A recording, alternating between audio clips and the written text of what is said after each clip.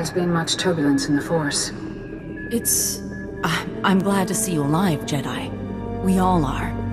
After the First Son's shield collapsed, we suddenly felt every child of the Emperor. Their darkness screams at us. They can never hide again. And yet we didn't sense the First Son's death. Strange.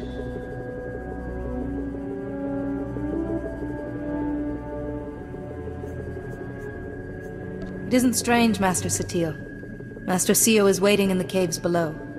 You overcame the willpower of the first son of the Emperor? Incredible.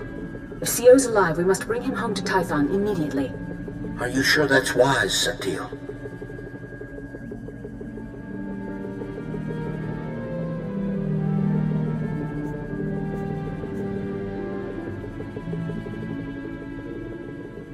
I assure you, Master Syo is no longer a threat.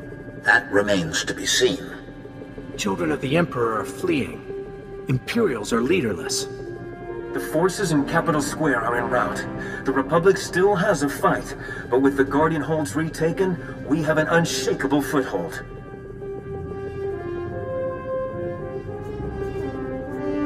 I'm pleased I could help. You and the Rift Alliance have done more than we ever thought possible.